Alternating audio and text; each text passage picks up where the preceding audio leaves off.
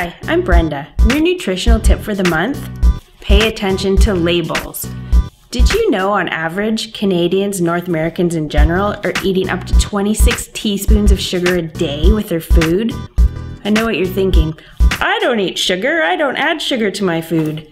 It's not the sugar you add to your food that you need to be worried about. It's the sugar that's hidden in your food. And I'm not just talking about cookies and sweets and granola bars. The worst culprits out there are some of the diet foods.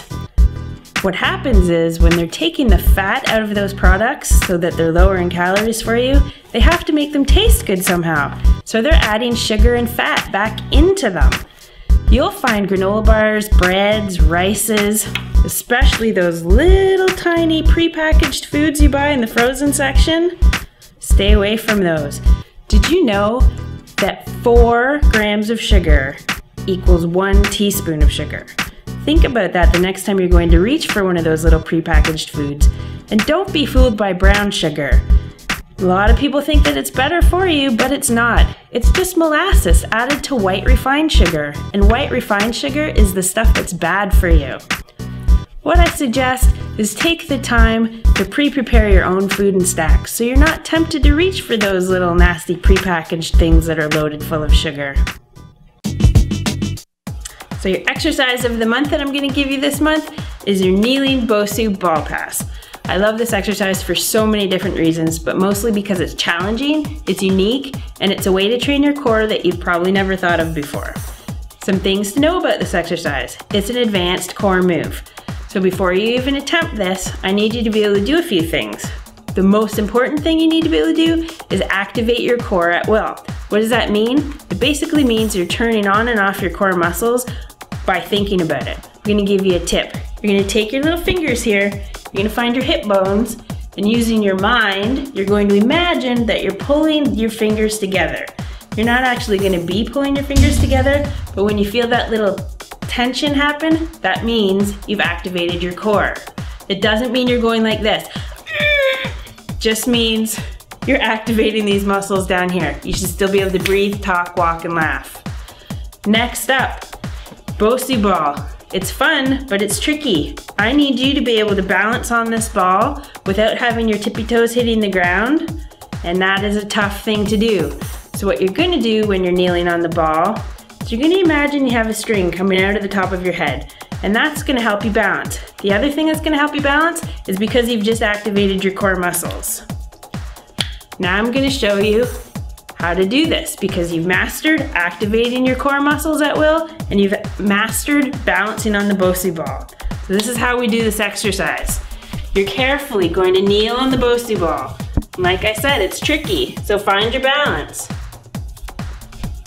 You're gonna come up straight. You're gonna be able to have your arms at your side, just relaxed and you're balancing. So once you've got this, you're gonna either grab the ball that's weighted on the floor or get your nice friend to hand it to you. You're gonna balance, you're gonna have the ball. This is step one, this is all you're doing. You've got your core muscles activated, you're balancing. Then once you're ready, you're gonna stick your arms out like this. You're gonna pass the ball back and forth. This whole time I'm imagining that I have that string coming out of my head. It's what's helping me stay on this ball. You're gonna do this 10 times. I count to left and to right as one. So either count to 10 or count to 20.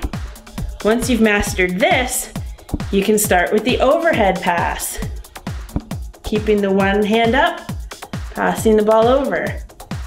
Once you're really good at this, you can start throwing the ball back and forth. It's a lot harder than it looks. And once you've mastered this and you think you're really good and you're ready for the next step, you can put yourself on a Swiss ball.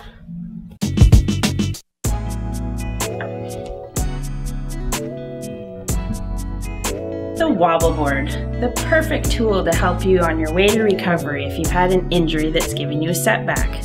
Which brings me to my motivational tip of the month setbacks. We all have them, we're human, but it's how you handle your setback that's going to either make you or break you. So you've had a bad day of eating, don't freak out over it and let it turn into a bad week of eating or a bad month of eating. Take a second, look at what made you have the bad day of eating, Take a step back, make a plan, focus, move forward. Sometimes our setbacks are due to injuries. Maybe they've taken us out of our normal training, which from personal experience can be frightening, let me tell you. Sometimes this is the perfect opportunity to learn how to train in a different way. It's not always about training harder, it's about training smarter. So you've hurt your ankle from running. Maybe now you have to cross train and get on the bike. Maybe you've got a pinched nerve in your back and you can't do much of anything. You're gonna learn how to fine tune the little muscles you've got inside. Is gonna make you stronger in the end. Think of it this way as sucky as setbacks can be, usually they're just opportunities in disguise.